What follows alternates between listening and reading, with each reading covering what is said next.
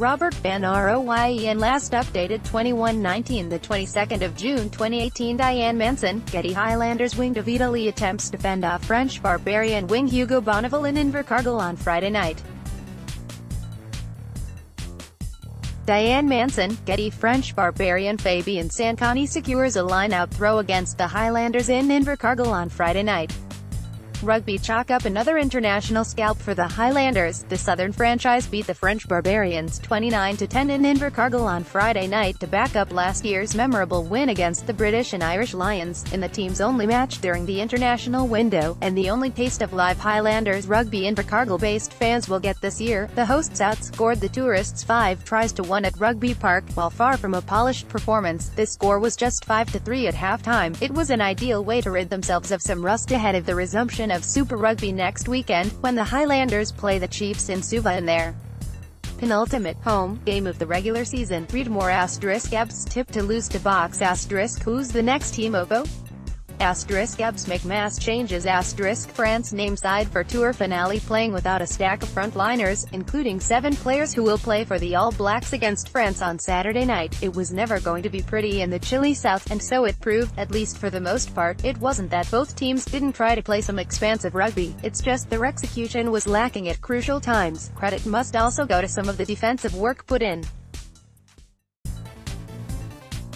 One area Highlanders coach Aaron Mauger will no doubt be pleased with is the scrum, an area his team has struggled with at times during Super Rugby. However, with the return of tight head prop Siate Tokolahi from a knee injury, they more than matched up with the big French pack, and even bulldozed them off the ball late in the first half. Their driving maul was also decent. James Lentjes and Greg Pleasants-Tate scored via it, and speedy rookie fullback Josh McKay shined at fullback. McKay, a former Christchurch boys first five, showed he's no mug under the high ball, used his express pace to get on the outside of the Barbarians and score early in the second half, and looked dangerous with almost every touch. Halfback Josh Renton, gifted a start ahead of Kayne Hammington, also put in a decent shift, as did number 8 Elliot Dixon and Southland stag Lima Sopoaga, who scored a try in his last game on home soil. Add feedback as for the not-so-good, the Highlanders conceded too many first-half penalties, including five in the first 20 minutes, and their execution wasn't up to scratch until they finally started to click in the second half, but they were far too good for the French in the end, as reserve hooker Pleasants-Tate barged over over in the 65th minute to secure the win.